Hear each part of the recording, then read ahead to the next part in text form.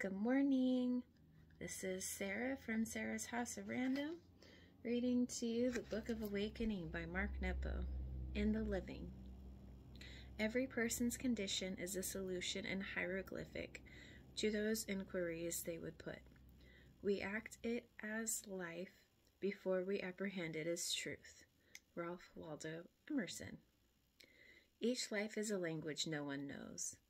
With every heartbreak, discovery, and unexpected moment of joy, with every lift of music that touches us where we didn't think we could be touched, with every experience, another letter in our alphabet is decoded.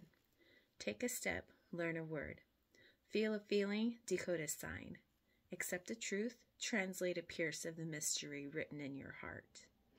Before we live what's next, it always seems like there is some answer we need to arrive at but daring to enter, we are humbled to discover again and again that the act of living itself unravels both the answer and the question. When we watch, we remain riddles to be solved. When we enter, we become songs to be sung.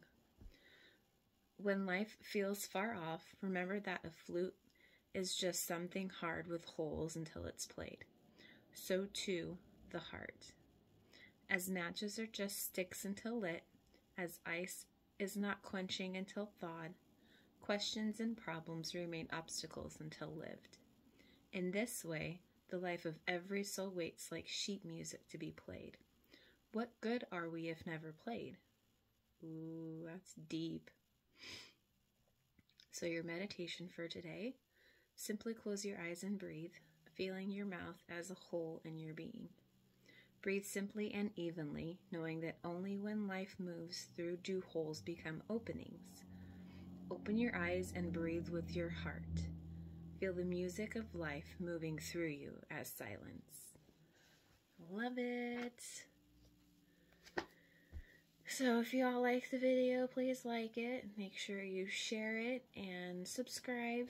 And also feel free to leave a comment below or you can email me at the email address in the description box. Hope you all have a wonderful day. I love you.